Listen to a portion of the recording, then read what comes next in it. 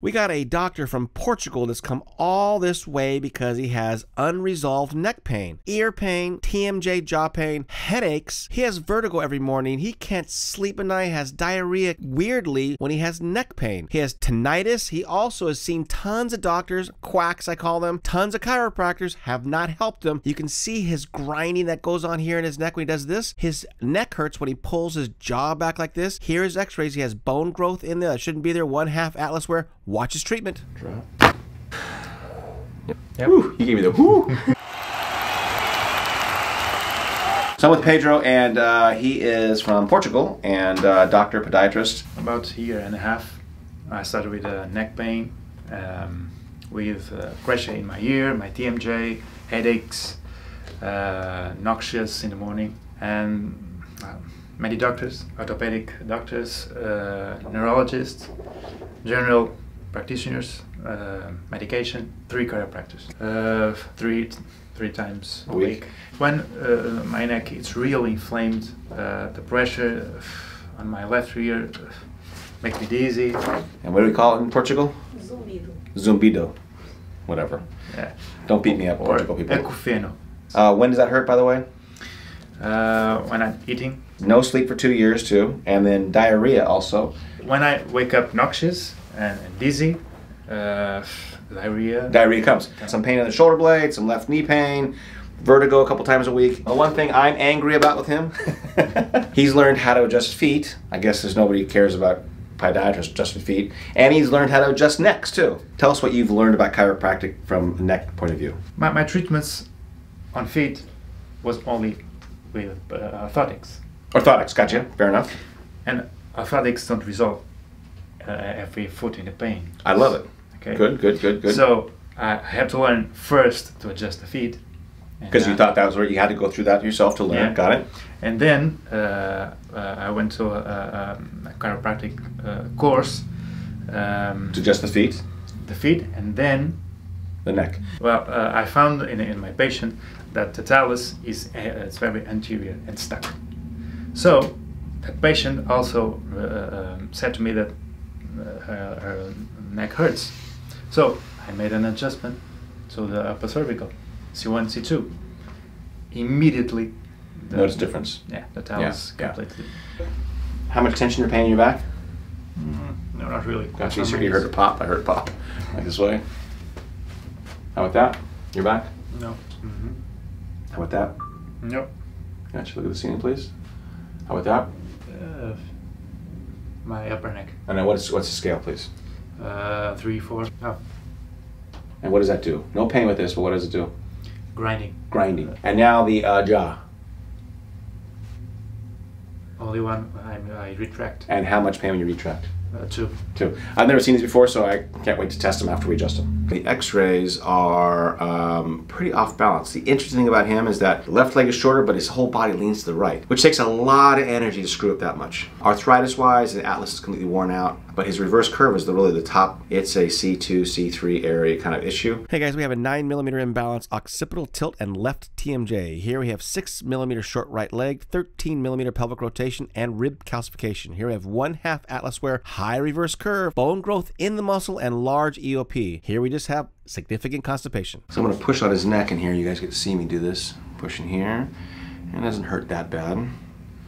But it should hurt more right in here now, right in there. Not sure or not?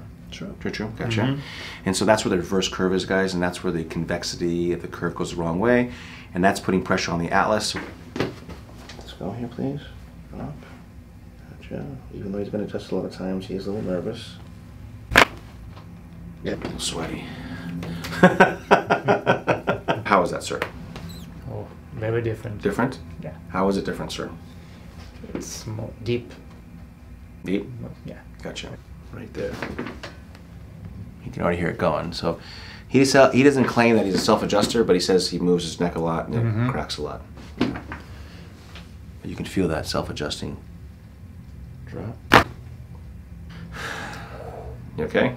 Yep. Woo, he gave me the whoo. Helping the doctor up because he's a little lightheaded. You can see it in his eyes.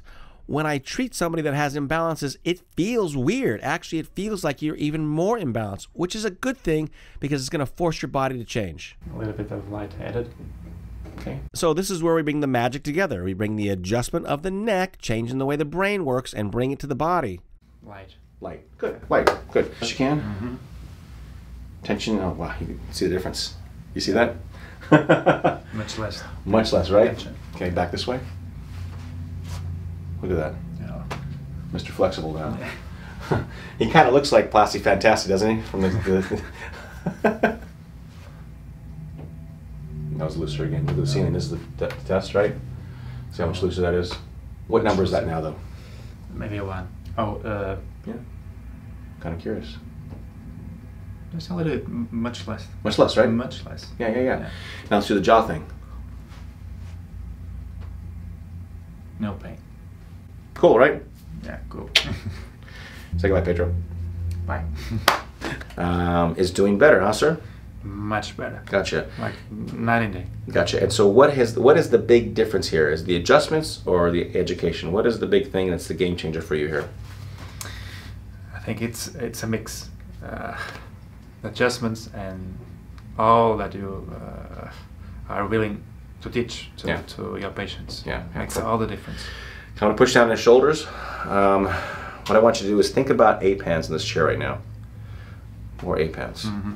Good. There you go. See how you dropped your shoulders some more? Mm-hmm. Now I'm pushing on your shoulders for a couple reasons. One, I'm trying to get you to relax, and the second one is I'm trying to teach you what you're gonna feel like when I let go. So I'm Okay. pushing the shoulders down to try to give you that feeling of when you're doing A pans properly, Mm-hmm. you're gonna be chasing this feeling. Brain perceives relaxation when the shoulders are down. Whether it's relaxed, whether you're relaxed or not, it's all postural. so when the shoulders are down, the brain feels relaxed. Just like a dog and a cat when they get scared or they're in a fight, what happens? The hair stands up on their back. Mm-hmm. We talked about this yesterday. Have you been just in the chair before? Nope. Never. I'm sure Dr. Rahim would have done this to you. I don't think so. Dr. Thayer was mad when you told him that. Okay, drop your head, drop your head, drop forward, please. Okay. How was that different than laying down? It's slower. Slower? It's slower. Interesting, huh? It is a little slower. Forward here, forward, forward, uh, forward, shoulders forward, please. Mm-hmm. More and more. Good. It's been fun to kind of exchange ideas on a doctor's level kind of thing. So, Mm-hmm. uh, Pedro, one week down, what is going on? How do you feel about this so far? I'm so much better. And I wake up in the morning and I, I don't have that feeling that I have to grab a pill if I need during the day. Oh, It's- interesting. I it's- forgot about that. Yeah, so wonderful. 70, 80, per- Wow. 80%. One week. Cool. And then the ears? Fullness in the ears? Went away. Gotcha. Completely away. And the ringing in the ears? How about your tinnitus? Yeah, gone. TMJ, how's your jaw? Better. uh, Better too, right? Uh, maybe a one, Yeah, but I mean, I didn't touch his jaw yet. Yeah. All I've done is what? What have we done the whole week? the neck. Neck. Diarrhea. Diarrhea too? Two, Yeah. What? How, how's that? I don't know. How's that changed? Any change? normal. Normal. Completely. Yeah. Uh, pain between shoulder blades. Left side? Uh, a little bit. Just a two, no knee pain. How about uh, dizziness? Actually, this morning, a little bit Okay. uh, when I wake up. What would you tell yourself about this week? You come to Dr. Thayer, be prepared for this. What? What do you tell them? What we have to do is work our minds and Good. posture and how to relax. Yeah. yeah. I know. Is that's it? When you're listening to this, guys, it sounds pretty damn simple, right? How simple is it? It is not. Yeah, yeah, yeah. A yeah, yeah, yeah, yeah. Tell them about staying in Glendale versus Santa Ana too, by the way. Yeah, the traffic was uh, terrible. yeah. So when you guys are in another country and you decide to come to Southern California and you just like this go, oh, Doctor Thayer's right here. I'll just stay right there. Those are that thumb, that finger is a long ways away from my office. So uh, call me. I will help you with a hotel. We have one right down the street, and it's cheap. Good. So anything else you want to share? So far, so good, right? So far, Got so one more week. We'll get his video next week. So over the week, the adjustments have gotten a lot better on him. Uh, very, very deep, um, and he's still a little tight. Still have to work on his relaxation, um, but uh, it's going pretty damn good. And like I said, he's feeling pretty good. So.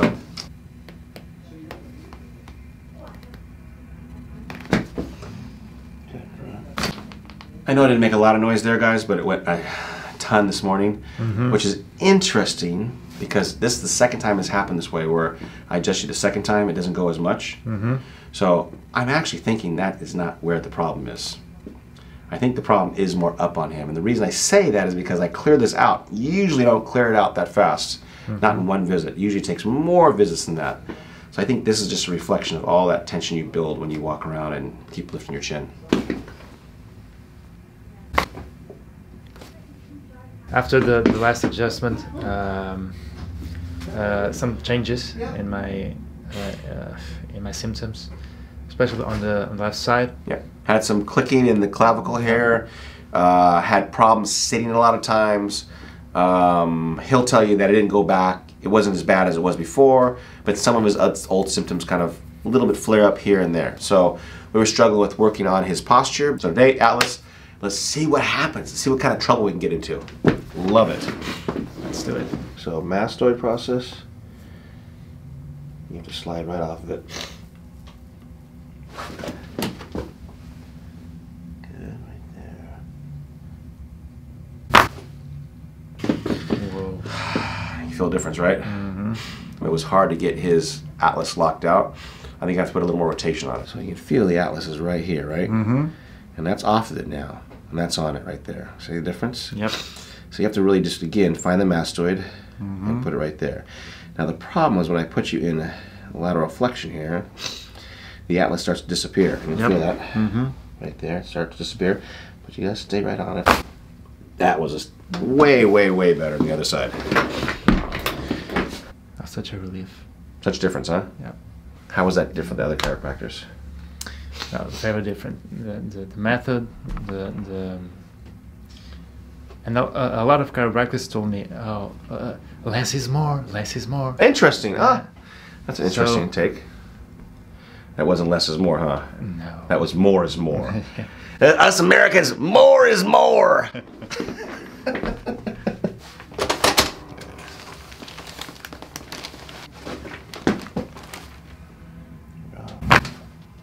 Beauty. I think it was easier than yesterday. Yeah.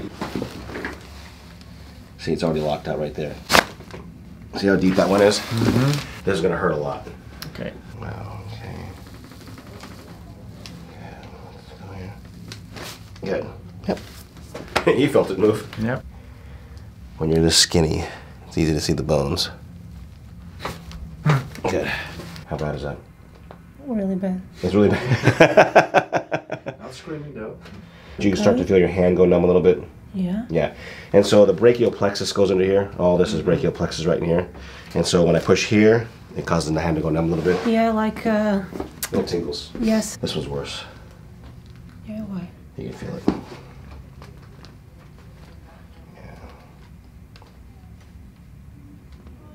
Good. Hand go numb yet? Good. No, good. Okay.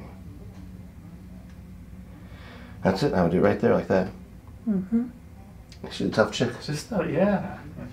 Hurts more in this side. Interesting. I this one felt tighter. Yeah. This feels tight right here. This didn't feel as tight, but good. That would hurt more, more. more painful this side. Right side, yet generally dominant hand side is the problem side. How much better are you, sir, over the last two weeks? I would say seventy percent. I used to grab a pill and okay, if I need it, it's there to me. If I if Sit I, on your headstand. Yeah. And now, completely uh, let go. Interesting. I forgot about the pill. So part of the issue with you, I think now, because we've had trouble with uh, with this tell, trying to find out when he has the problem. He's medicating himself. I just heard that right now for the first time. He told me that before, but um, that that doesn't give you the ability to listen to your body as well because he keeps covering it up. So he uses he masks it so he doesn't listen. And so part of his issue that he's had a problem with is listening here. So that makes sense to me. I just totally even didn't even see it because he does it so nonchalantly that it didn't me- make a big deal. So that could be an issue. Left neck better. We said headaches, some acceptable headaches Just a little bit uh, yesterday. yesterday. Yeah. We did some kind of new adjustment on him. You guys see the video of that. Um, uh, it for some reason woke something else up. I went back to C3, C4 adjustment, and that seemed to solve everything. Uh, we changed the way he drives, and that seemed to solve even more. Ears, how's your ear? Uh, much better. Yeah, ear pressure, pressure, decreased. and that was driving him crazy before. Fullness, tinnitus, ringing the ears every day. Uh, like I said a little bit yesterday, uh, but all gone. He had a little yesterday because he couldn't rotate. Everything got, got swollen up. I told him I think it's separation anxiety because he loves me so much, doesn't want to be in another country without me, and that happens, you know. It used to be just the girls, now it's the guys too. Yeah. How's your job? We haven't even Job, talked about no it. yet. issues. No. No issues. Sleep. Still sleep. Sleep. Still great. Actually, Great. really good. Great. Diarrhea. That's better too. Yeah. Subscap pain. I forgot what to ask about this. How's this? Today, I didn't feel anything. But yesterday in the evening you felt Yeah, just a little bit. knee pain, good, and dizziness. He was he was dizzy yesterday. Had vertigo yesterday, Mm-hmm. but for the most part, pretty good overall. Mm-hmm. Again, something happened yesterday. I told him it was more mental, but there were some physical attributes to it too. I mean, the setback is definitely some physical part, but his anxiety about I think going home, not having this 100% solved. You know, and then also not doing what I told him. I told him to get out of bed. He goes, I laid in bed all day. I go, oh crap, you need to still get up. And so a lot of that's just anxiety. I did C4 this morning, and that mm-hmm. solved a lot of problems. But let's go C3, a little higher. As you see on his X-rays, guys, which will pop it up right now, there are there is a high neck reversal. That high neck reversal has been his problem from day one, right there, C3. Wow. Okay, bring your ear towards me, please. Different, huh? This Very one. good. Yeah. Very different. Pedro, say goodbye. Bye.